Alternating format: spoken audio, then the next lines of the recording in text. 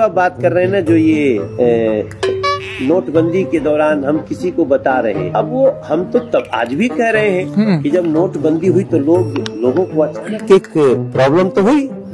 लेकिन उस प्रॉब्लम में जो उद्देश्य था वो बहुत बड़ा था। पूरा हुआ उद्देश्य? उद्देश्य पूरा हुआ। इस देश में नरेंद्र मोदी सरकार के अपॉइंट किए हुए उनकी सम्मति से आए और फिर गए गवर्नर उर्जित पटेल या फिर देश का वित्त मंत्रालय। नोटबंदी के जो घोषित लक्ष्य थे उनको लेकर कोई भी देश के सामने आज तक स्पष्ट आंकड़े नहीं रखे गए हैं। सारे अर्थशास्त्री कहते हैं इससे जीडीपी को हिट मिलेगा। हिट मिला देश की जीडीपी पिछले दो दशक में सबसे कम है।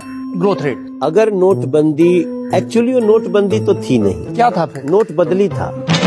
उसी को तो नोटबंदी कहते हैं कि जो नोट है वो नहीं चलेंगे। लेकिन उसको दे दीजिए दूसरे मिल जाएँगे। दूसरे मिल जाएँगे। हाँ तो ये नोट बदली था। नोटबंदी तो इसको गलत ढंग से कह दिया गया। नोट बंदी परफेक्ट वर्ड नहीं है उस अभियान के लिए। नोट बदली अभियान था। नोट बदली आप ये कह रहे हैं कि नरेंद्र मोदी सरकार की ये जो सुविचारित और प्रख्यात सुप्रचारित कल्याणकारी योजनाएँ हैं इनका पैसा नोटबंदी के पैसे से आया? उससे बहुत फ़ायदा हुआ है। कोई अर्थशास्त्री नहीं बता पा रहा है क्या फ़ायदा वो अर्थशास्त्री को छोड़िए मनोज तिवारी अर्थशास्त्री को सुनिए ना। बताइए। मैं पूछ रहा हूँ तो फिर ये जीडीपी क्यों गिर गई इतनी?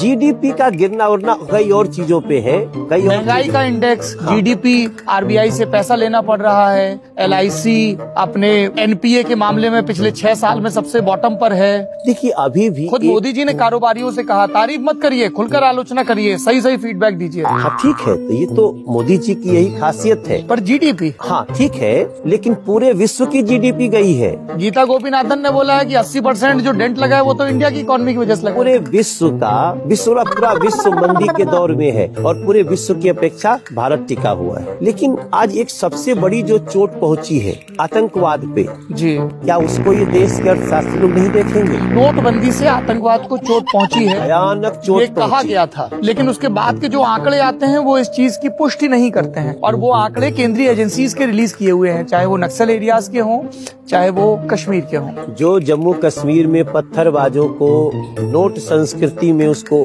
खड़ा किया जाता था वो नोट जैसे ही वो बंद हुआ उसके कारण विदेशी जो नकली नोट आते थे उसकी बंदी हुई। उसके कारण ड्रग मतलब माफियाओं एक फैसले से सारी बीमारियों का उनकी सारी चीज़ वही धरी की बदल कहाँ सकते थे? वो किस बैंक में जाते? पर देश का रिज़र्व बैंक तो कहता है कि 99.8 परसेंट एक मोटा मोटा आंकड़ा, उतनी करेंसी वापस आ गई। 99.8 परसेंट में 0.2 परसेंट बचा ना, वो सारे पैसे से आतंकवाद हो रहा था।